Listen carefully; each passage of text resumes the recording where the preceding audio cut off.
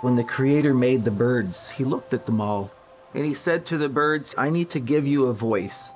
Before the sun comes up, I want you to take off towards the heavens, and the bird that can fly the closest to the spirit world will get the greatest song of all the birds. The little hermit thrush, looking at the big eagle standing beside him, he thought to himself, This is my chance to get the greatest song of all the birds. So he jumped up on back the eagle.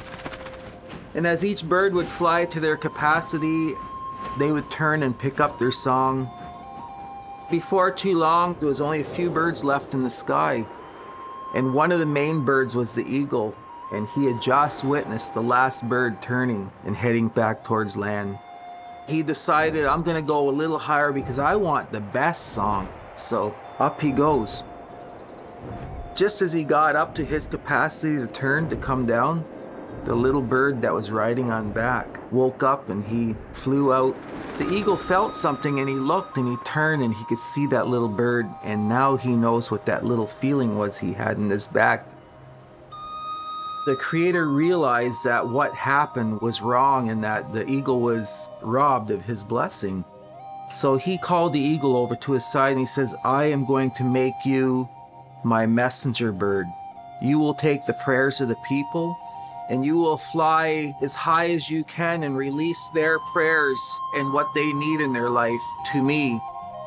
And then I will give you answers and you will bring it back to the people. And especially when our people need confirmation in their life, they will see the eagle come to them and bring them a confirmation that what they're thinking in their mind at that point is being honored. And you will know the Creator's watching over us with the eagle. This was a, a great thing for all of us to learn as children because the eagle put so much time and effort into wanting to be the best. Even though he didn't have to fly any higher, he wanted to go as high as he could. As people, we should always put effort into our prayers to be the best we can be. And that's why I carve a lot of the eagles taking off towards the spirit world. De Haneni Aguedoros, that's my indigenous name, cutter of stone, or where the stone is halved. And my English name is David Robert Maracle.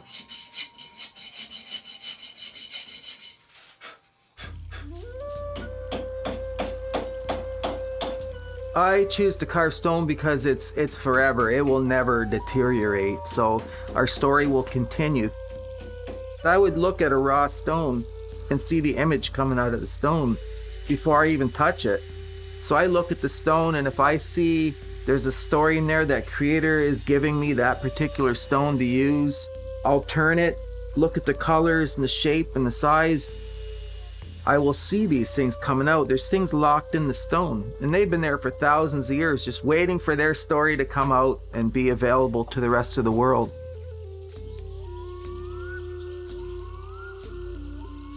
I love to put the water on there, I'll sponge water over it. And that even helps to dictate even further because then I, I operate with the colors and the shapes of the stone because then I can, you know, have flesh tones and different things like if I'm carving a feather. And then I treat the stones with different oils and waxes and lacquers and things to actually seal the pores of the stone so it actually holds the moisture into the stone, the beauty.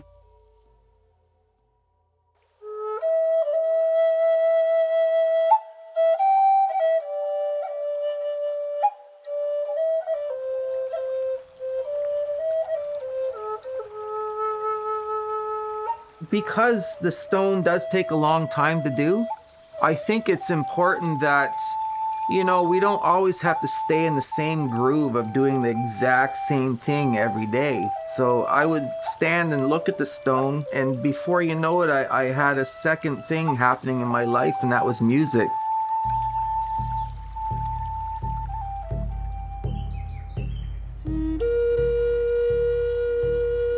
I love the sound of music and it's a great way to express myself. I love the fact that it brings a lot of peace and love to people that listen. It's nice when I come out to the woods coming out and finding all my my bones and stones and playing in the forest. It's just like the forest is my playground. Nature is very important to me. We have to respect them. They were here long before we were, and then we came along to ruin their life and, and their environment. The pollution that they have to deal with because of the human negligence. It's good for us to give back, and it's good for me to always talk about the animals and nature. I love backing and supporting people that are out cleaning the oceans and, and doing these things to help protect the future generations to come. Because those little ones with those beautiful eyes looking up at us, we have to make sure that we leave behind things for them to have. We have to put that inspiration into them to be able to walk in beauty, see the things that we see.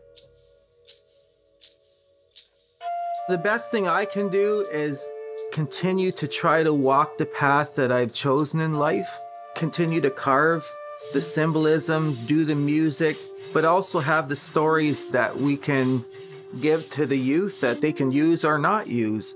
But it's an opportunity for them to pick up something and see if they can apply it to their life and if it works. It's pretty easy to put your mind into doing something you love and mastering that and then taking it out and sharing that. And you know, I think when you share things in life, I think the creator and the natural world and all the natural things that surround us pushes us further